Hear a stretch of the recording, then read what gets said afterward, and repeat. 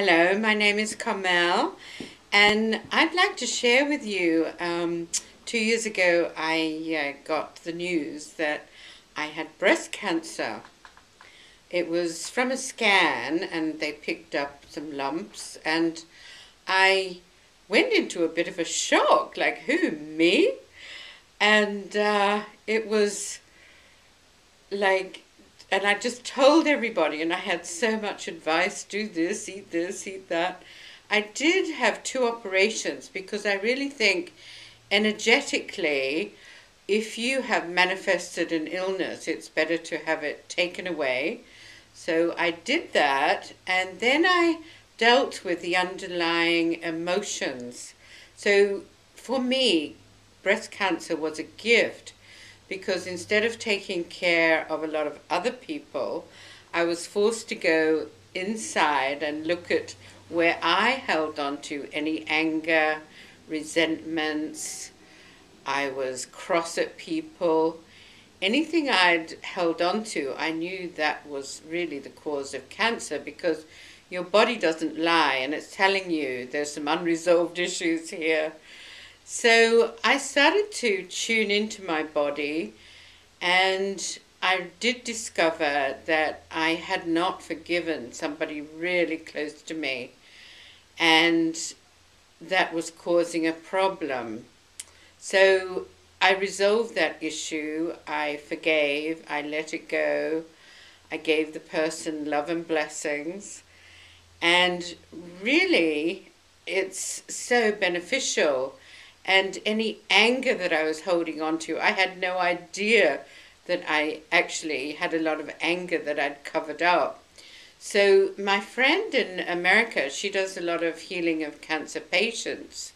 And she said, You really have to get rid of all your anger, resentments, blame.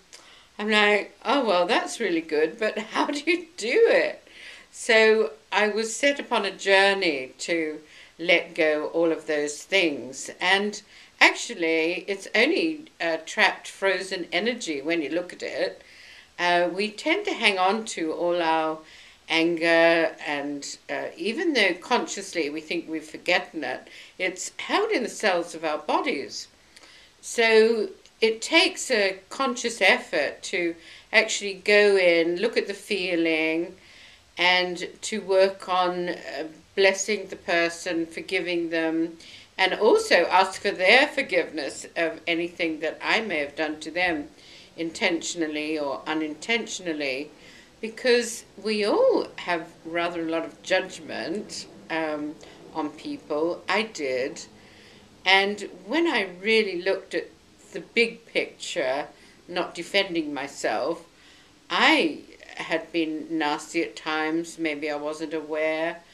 Um, so I went back and actually did a whole cleansing process for everyone I could remember in my life who had hurt me, who I'd hurt.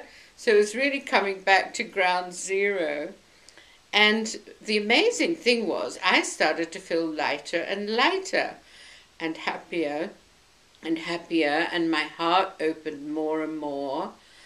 And I just released a lot of old pictures that I was carrying in my head and um, events. I virtually took the boxing gloves off and started, instead of resenting and carrying anything at all, I really started accepting and loving people. And more and more, it's like the love can flow through me now. And it's like a flowing river and love showering through me. And it is just wonderful. I hadn't realized I did it because of the breast cancer, but hadn't realized all of the benefits. All of a sudden, my life started working perfectly. All the traumas disappeared angry people disappeared from my life because I realized I hadn't accepted my own anger. And so I was attracting angry people. So when I look back uh, two years ago, um, breast cancer was a complete gift. and just asking the question why is it here? What is my body trying to tell me? Because your body never lies to you. You might lie to yourself, but your body is saying, There's something going wrong here and I want some attention. so, um, and as females, I think a major pattern that I had was doing everything for everybody else, putting the family first. Like I have five children, grandchildren, had a busy job, and so we're programmed really to do for others first, and we're not taking care of ourselves. So it was a major thing in learning to love and nurture myself and put myself on top of the list, which, you know, use I had to use a bit of discipline initially. It's like, well, what do I want? And how can I be kind to myself today? And a lot of that meant not going out so much, having a nice bath, meditating, uh, being with people that uplifted me, didn't drain me. And gradually, I just, you know, the benefits were amazing. So I don't see any illness as that's so terrible. Why did it happen to me?